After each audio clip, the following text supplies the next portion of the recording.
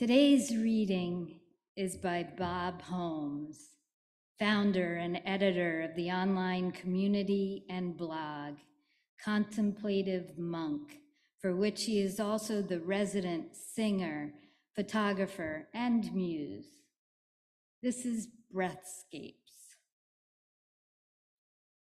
When the east wind breathes into your soul and the morning sun warms your face, pause in the solitude, sink into the stillness, expanding with every breath, savoring as things settle and clear. In still clarity, perceive with childlike wonder the breath of dawn, the light dancing in your heart to heal you, to hold you, and to make you whole. When I was a kid, my brother David liked to watch Evel Knievel. And what my older brother did, I did too. David is seven years older than I am. We are far enough apart in age that we actually like each other. We have a sister between us. We won't talk about her. I'm just teasing, of course, but it's fun. David and I look alike too, except for the fact that he's totally bald now. So, on weekend afternoons, we would sit too close to that big console TV. You know, TVs when they were this deep? We would sit too close to the TV, listening to what the commentators had to say. And of course, they had a lot to say and nothing to say at exactly the same time. They just talked and talked and talked and talked and talked. And we gleefully anticipated some spectacular stunt. I mean, after all, we're talking about Evel Knievel here. Evel Knievel, a daredevil like no other. He was considered good looking, even if rough around the edges. He was like a G.I. Joe doll, dressed in a flashy white jumpsuit and cape. You know, when I think about him now, I see sort of like a flying Elvis. On his motorcycle, he jumped cars and canyons and through hoops of fire. And all these many decades later, he still holds the record for jumping the most buses on a motorcycle. He jumped 14, 14. And if it wasn't abundantly clear by that stunt, the man was totally unhinged. But he was an amazing showman and self promoter, and he knew how to draw a crowd. He often said that kids wanted to be like him, men wanted to be him, and women wanted to be with him. He was a man of another age, that is for sure, a man of another time, colorful and narcissistic too but the world wanted the likes of him as much as he wanted fame. But there is another Evel Knievel quote that when I read it made me feel a certain affinity for the risk taking, body busting braggart of a showman. When asked why he repeatedly took his life into his own hands, doing these terrifying and wildly unsuccessful jumps on a motorcycle or in a car, he answered, I love the feeling of fresh air on my face and the wind blowing through my hair. That is nuts. that is really maybe not a good reason but it makes perfect sense. Now, while it's true that I don't know you all, I don't know you well, I know you just a tiny bit in this little bit of time we've had together and the months ahead of us, I'll get to know you maybe a little bit better, but I am willing to bet that none of us here have taken the risks that Evel Knievel took. but lots of us feel the, the need to have fresh air on our face and to feel the wind blowing through our hair or over our scalp. We drive with the car windows down. We buy convertibles to feel it. Folks love sailing and skydiving. Indoor skydiving is all about a big fan underneath you and feels spectacular if you are so inclined to try it. The forced air pushed through an MRI machine is soul and sanity saving, if you ask me, when you are lying still on that table with jackhammer sounds pounding all around you. The little whoosh over your face, you're like, okay, okay, I can do this. The Dutch even have a practice uh, known in English. I would never try to pronounce it Dutch. the expression is uh, called outblowing, which is the intentional practice of spending time out in the wind to clear your mind. Right? We can imagine that on a windy day. There's nothing like the feel of the wind. When I was a kid uh, growing up in Manhattan, there was this block on 89th Street and Madison Avenue. Maybe some of you know the block an enormous building went up on that street and it runs the whole length, 89th to 90th, and it's the windy block. Every day, every month, every season, this block, there's a whoosh because of the height of the building. It creates a wind tunnel. When I was a kid, we'd walk down the windy block and lean into the wind. Remember doing that? When you didn't weigh so much that the wind would not hold you up? Reading about the Dutch practice of outblowing, I was reminded of some of my favorite country songs, and one song in particular by a defunct band called uh, Son Volt, which describes driving down the road with the windows down, with the wind taking away your worries and your woes. They're just flying out behind you, all your worries and your failures and your shames and your distress. The song talks of feeling freed from all that heavy stuff it flies out into the wind to make way in our bodies for new experiences and new times. So I think we get it. And of course, I'm not about to jump 14 buses on a motorcycle. Heck, I can't even drive a motorcycle.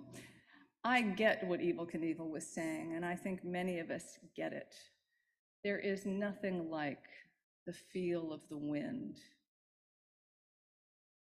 it is sometimes cleansing or soothing or grounding, like the Dutch outblowing. At other times, it's big and scary and even destructive. It reminds us of nature's raw power and our place in creation. It really puts you in your place when you're out on a windy day. The wind is elemental, it can be frightening and delightful.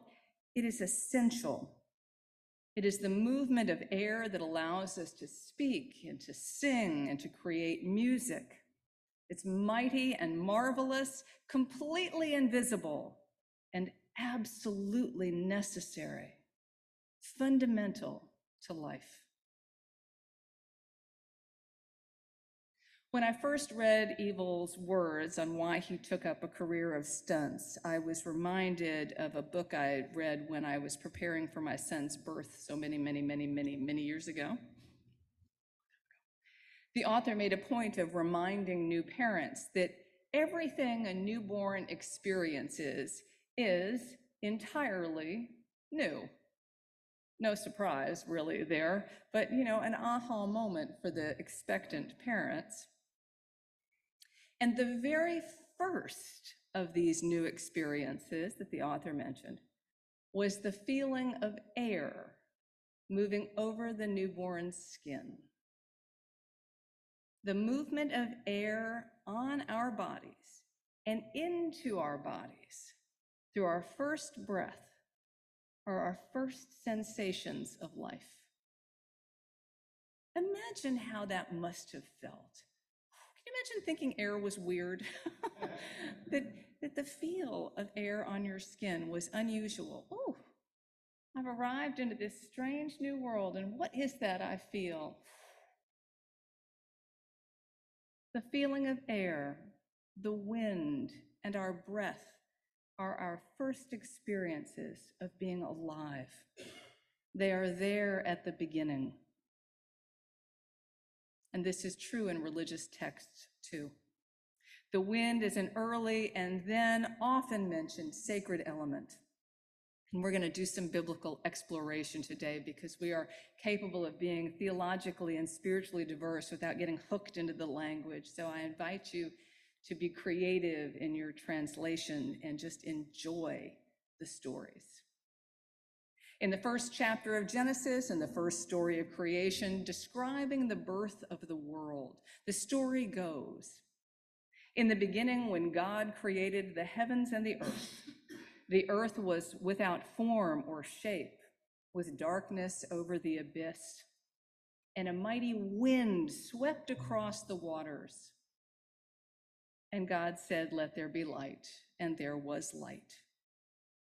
Before those well known, oft quoted words about light, we have the mighty wind, which in Hebrew is the Ruach Elohim, the Spirit of the Most High. A mighty wind, the Spirit of the Most High, the force of creation, moves across the face of the deep and over the waters. It's there at the beginning, before light, before the dome of the sky and the stars are brought into being, before land, before plants, mm. before people, before it all.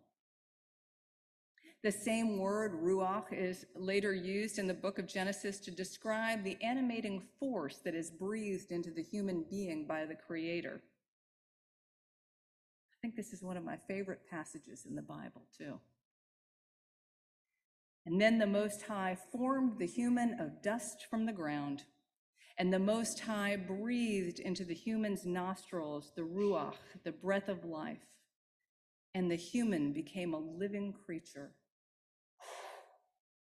And we are animated.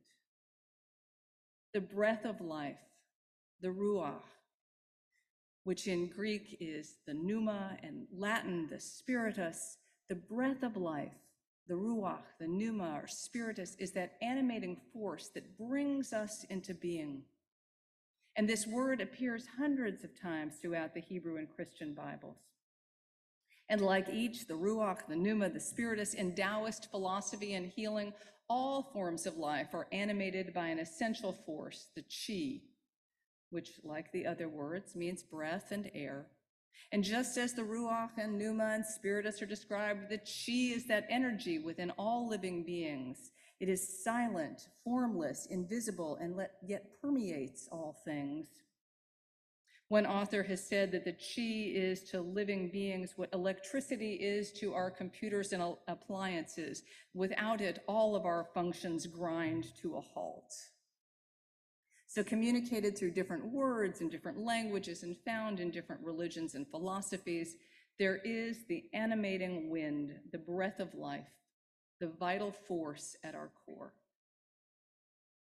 Indeed, it is so common, these references to the mighty wind or the breath of life, that some say that it is this spiritual essence at our center that defines us. We are not, as I imagine you have heard, said, human beings having a spiritual experience. We are spiritual beings having a human experience.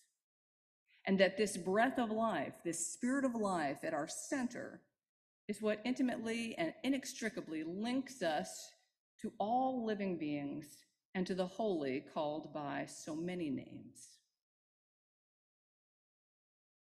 As some of you may recall from your religious upbringing or practices of today, in the story of the burning bush, Moses, speaking to the bush, has the nerve, he has such chutzpah, Moses, to ask the name of his God. And the Most High answers, I am who I am. When written down, the name of the holy given to Moses is recorded as YHWH or YHVH, which is referred to as the sacred tetragrammaton, meaning sacred four letters. As you may also know, the original Hebrew included no vowels. So the sacred tetragrammaton, YHVH, is considered literally unspeakable on its own. Any attempt to speak the tetragrammaton is fruitless, or some might say, in vain. Now, the unspeakability of the sacred tetragrammaton has long been recognized, but some religious scholars, some thinkers, believe that this is intentional, that the invisible holy cannot be named, that whatever God is, whatever the nature of the numinous, that which is transcendent cannot be captured in a word. Some are convinced that YHVH is not a word to be pronounced, but the very sound of inhalation and exhalation. Some have noted that the letters YHVH represent breathing sounds, aspirated consonants that in the Hebrew alphabet would be transliterated as yod, rhyming with road, the Y, hey, rhyming with say, va, as in lava, and hey again. I invite you to join me in a little experiment with those, with yod, with yod, hey, va, hey. A little breathing that takes a minute to get the hang of, to be honest. Makes a little dry mouth because we're doing it through our mouths. It's a little like going to the doctor when they tell you to breathe, that they say, listen to your chest sounds, and you think you're making me breathe too fast. Like, really have to breathe again? Okay. It's a little of that. But we begin first with a exhalation of yod, an, an inhalation with hey, the gentle exhalation with va, a gentle inhalation with hey. So it's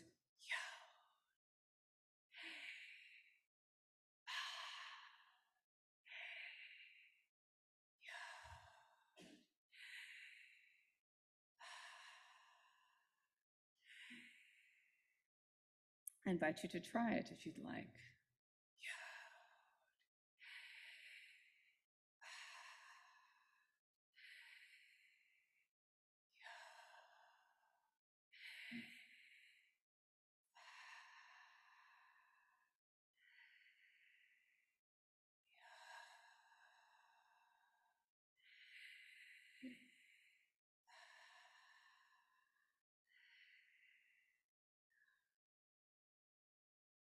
On this subject, one contemporary Christian singer songwriter, David Gray, has written For too long, there have been those who have insisted with a certain righteousness that the name of God is so holy that we dare not speak it because of how unworthy we human beings are.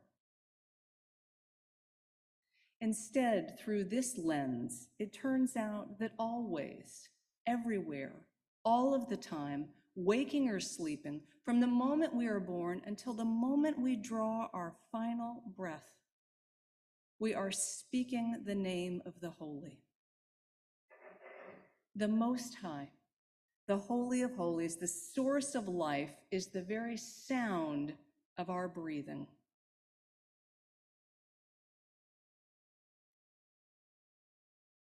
Braggart and stunning showman that he was, Evel Knievel tuned into something greater than himself.